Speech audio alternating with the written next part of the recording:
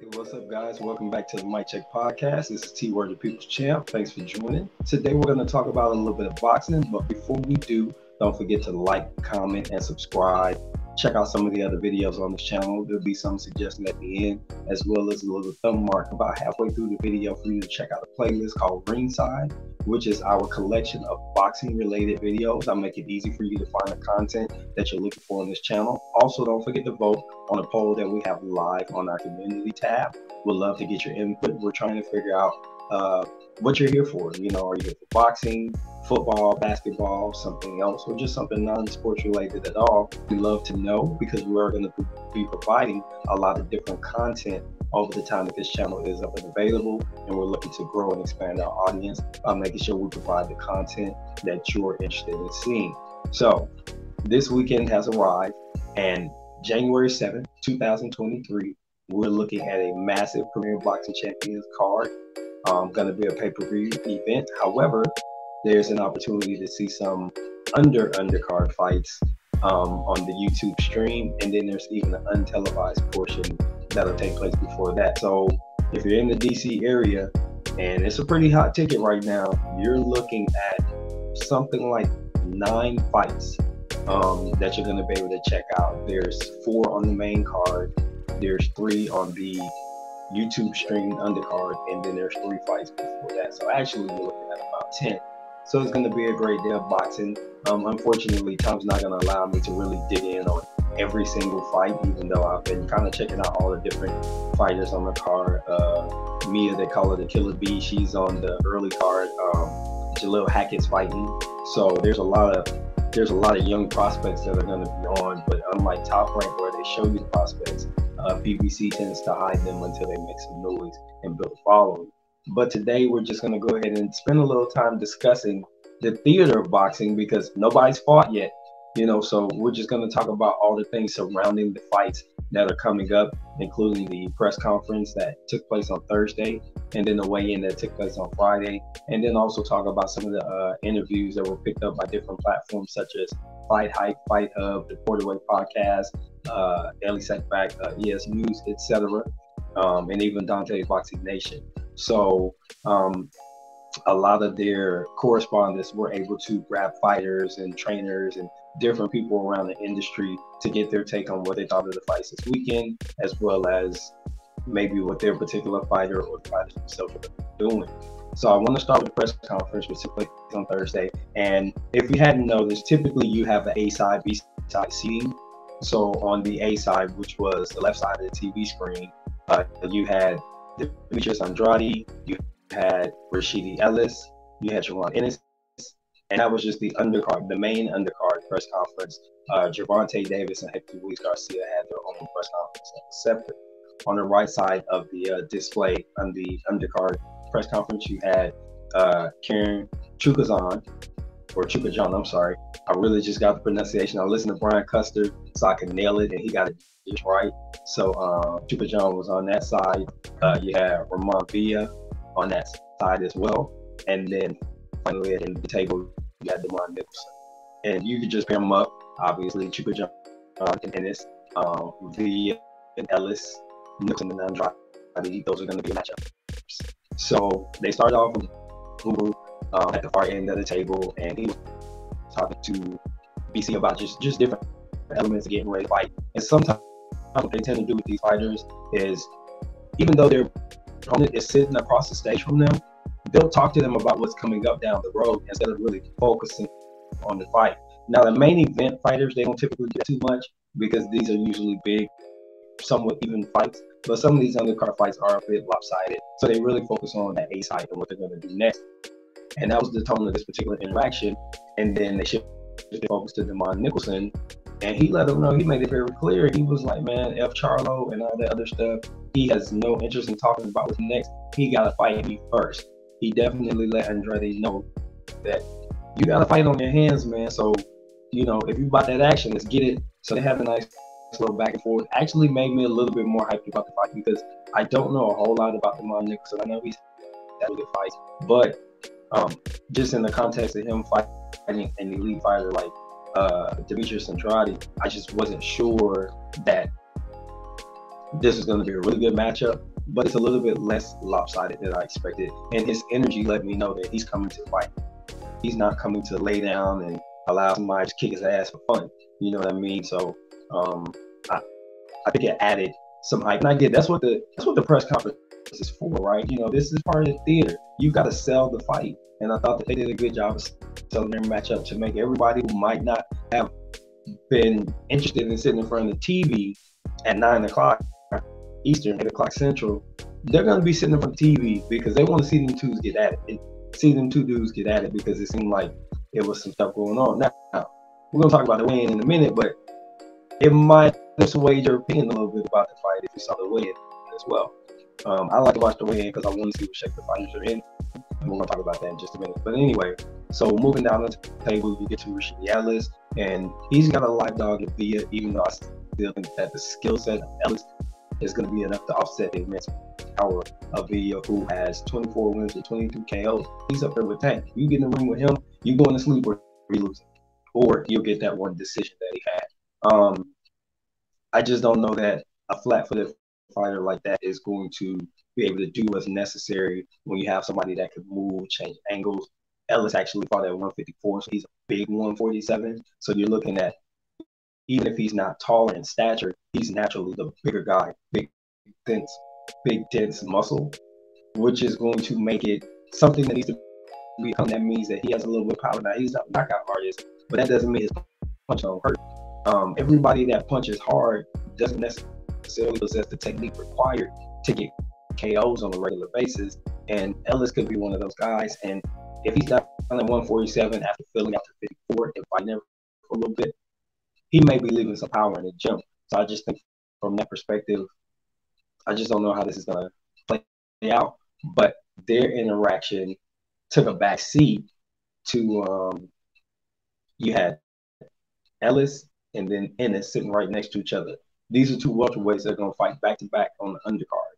So you start to see Brian Custer kind of instigate a little bit, which he's really good at. You gotta give BC his credit, man. But um, he starts to instigate a little bit, and he's like, "Hey, you know, Ellis, if you win, you got a guy sitting next to you. If he wins, is there a showdown in the future?" And obviously, those dudes want to scrap. Now, something that was weird is their interaction was, you could tell they're not real, real, real talkers. But Boots had that let's go energy, and I felt like he came to the press conference with that because after the press conference, he sat down with uh, Shawn Porter, and he had a lot of the same energy, like it's whatever. Like he'll he'll get in the ring and he'll do whatever with whoever, and he don't care who has something to say about it. So when they were asked about it, Boots immediately says, "Let's go," and Ellis was more reserved about it, more conversational. And he really didn't have that hype. I mean, maybe because he's a little bit older than Boots, he understood not to get in his energy and focus on a guy that he's not fighting yet when he really needs to keep his energy focused on the opponent coming up, who's obviously a big puncher.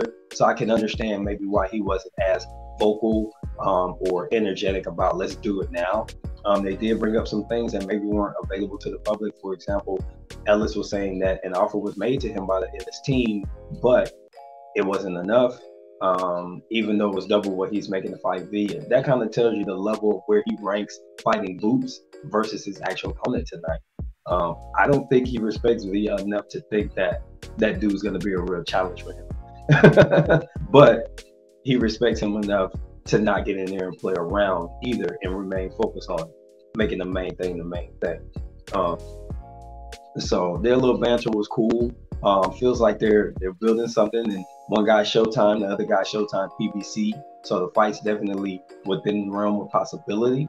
Um, and I think they just started marinating it with that little press conference. I think their post-fight in-ring conversations are going to be critical, and I also think that their post-fight press conference is going to be very critical to determine if this happens next. They both expressed that, hey, we probably can't get the champions right now, so whoever's out there wants to smoke, we can get it. And I can see that being a thing. And I'm, I'm thinking I, I want to see them cook the fight a little bit because I don't want it to go on, you know, just on a small audience. I want to see it on the big stage and give them both an opportunity to make some real money on pay per view. But they need to cook it and sear it on both sides and get it out there on the plate by the end of 2024, or it's going to lose steam because they're not they're not going to gain star status enough, in my opinion, equally to make this a big fight like Spence Crawford could potentially be. So I think it's going to cook to a boiling point um, by the end of next year. So I think summer 24, they could definitely do it. If they don't get it done this year, I just think it might need to they might need to beat somebody up and then beat a couple other people up and then get in the ring and that might work. Um, moving on down the table, Jaron Ennis. Um, he has Karen Chukhadzhian on the table in the IBF in the IBF interim title fight, um, which is going to align him to fight Errol Spence. Oh man, um, Boots looks ready. He looked like he he for the BS, like, and I don't mean that in a bad way. I mean like, Buddy showed up.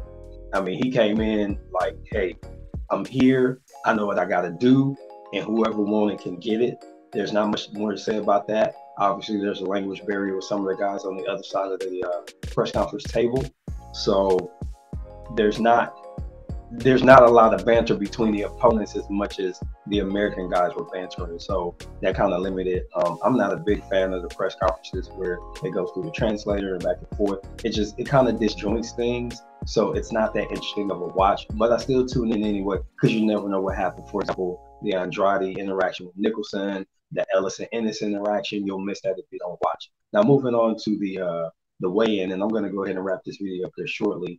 Um, the weigh-in was interesting because man, Tank looked uh he, he looked kind of small. And I don't know if Hector's just just a big dude, you know, dense muscle. But Hank didn't look Tank didn't look that big. He looked like he was kind of drawn in a little bit. Um and before I get to that, I'm sorry. Uh Tank's part of the press conference. He came out later and uh he basically was very thankful to Floyd Mayweather uh, his coach spoke they spoke passionately about being ready for the fight, and they actually said that they felt a little bit uh, disrespected that people weren't giving him his credit. Now, I mean, he does have a couple full championships at 130, but then he's got the regular belts at uh, 35 and 40, so he doesn't always get full credit for that. Even though he did win those championships in the ring, he took those regular belts off people, not vacant titles or anything like that. Um, he actually won one of his belts as a vacant title. So think about that. You know what I'm saying? He gets more credit for a title he didn't even be the champion for. But anyway, that's beside the point. We'll talk about that later. Um, they were just kind of talking about the disrespect. And the coach for um, Hector Luis Garcia, he was like, no, we rank Tank as a pound for pound fighter. They're coming in very respectful. And I don't know how Hector's going to translate that in the ring. I don't know if he's going to be a little hesitant to engage and he might try to use footwork, which he doesn't really have.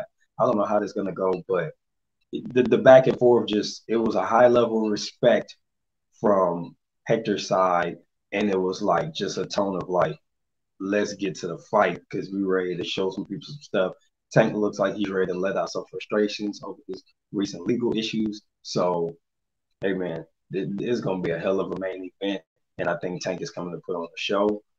I do have a prediction video coming up later on today but right now, we just kind of wanted to discuss the theater of boxing, you know, just get that off my chest. All right, so back to the weigh-in. So Tank looked really small to me, uh, and somebody else that didn't look um, as filled out as he typically does as the weigh-in. Boots looked a little lean too, and he came in at almost two pounds underweight. I think he was like 145.5 or something like that. Uh, of the 147 weight limit. So he was like, he said he weighed on the scale early in the day at 146.6 but for some reason he was a full pound less. So I don't know if his scale was off or that scale at the weigh-in. Everybody seems to seem to be about a pound off weight, which is kind of high. They're usually a few ounces or a half a pound or whatever. Um, something just wasn't right about that scale. Uh, the sanctioning bodies don't say nothing, there's there's really no belts on the line besides Tank's. So I guess they're not that concerned. They usually give a pound sometime. But um, we'll see how that plays out. I think the guys are mostly all going to be able to rehydrate about 10% of body weight. So for most of these guys, that's anywhere from 12 to 168. It's going to be 12 to 17 pounds. 168 pound division, it looks like about a 16.8 pound um, ability to uh, rehydrate, basically 10%. So we'll see how that plays out for all these different fighters.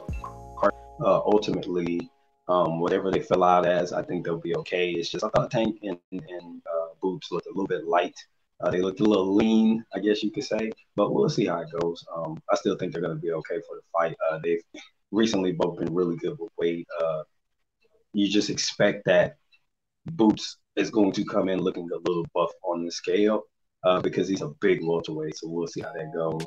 But for the most part, everything looks online. We've got a lot of great fights. Everybody made their weights. Everybody looks like you know they took every, their camp seriously. They look focused and ready to go ahead and put on a great performance and make it worth the seventy-five dollars on pay-per-view. Again, we're gonna come back later with our prediction videos. It's gonna be much shorter than this one. I just wanted to talk about, about some of the out-of-ring stuff um, that sometimes gets overlooked. I know not every fan is interested, so, so that's why I want to separate from something that those really in-depth fans care about, and then separate it from the prediction, which is something that more the betting fans and the people that just care about fights.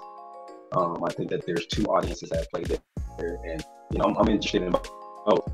So I just felt like two videos might be better. So, so again, stay tuned, turn on those notifications, check it out. This is Tee Word, Mic Check Podcast. Like, comment, and subscribe. Leave your comments down there and tell us what you think about this particular discussion. And until later, we'll see y'all at the fights. Peace.